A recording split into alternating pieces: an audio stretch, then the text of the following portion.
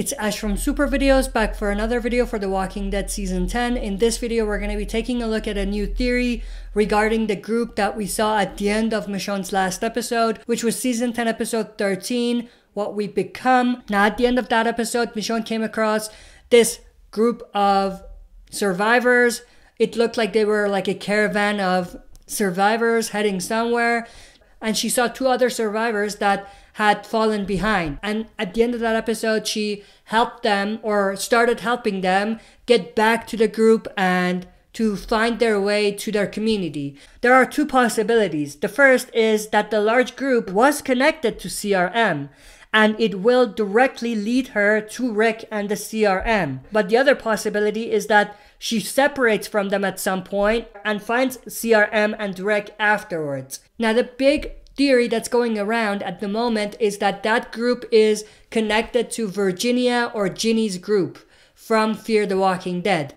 Now, if you don't remember Ginny, if you don't watch Fear the Walking Dead, or haven't watched Fear the Walking Dead season 5, then what you need to know is that Ginny, which is the character I have on the right, is the antagonist that appeared at the end of season 5 of Fear. And she's probably going to be the big antagonist for the first half of season 6 of Fear the Walking Dead, whenever that comes out.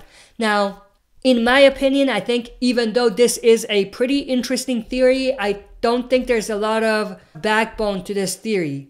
The reason I say that is because this group is way too big to be connected to Virginia's group or to Ginny's group. If you go back and watch what Ginny's group was all about, she called herself a pioneer. She said that they were settlers. She wasn't really that organized, or she wasn't part of an organized community or organized group. So I find it super odd or unlikely that she's gonna find her way all the way where we found this group from where she was. Because where Ginny's group was in Fear the Walking Dead was in Texas. Now, where Michonne saw this group was near the northeast of the United States. Alexandria and the whole communities that we know of right now are around DC. And Michonne said to Judith when she was talking to her that she's heading north. And based on news that came out a while ago about the Walking Dead's Rick movies, we know that the Walking Dead's Rick movies are most likely gonna take place in the northeast of the United States, which matches with where Michonne is heading. And if this group that we saw is connected to Rick in some way or will connect to Rick in some way, it makes the most sense for them to be around the northern east side of the United States.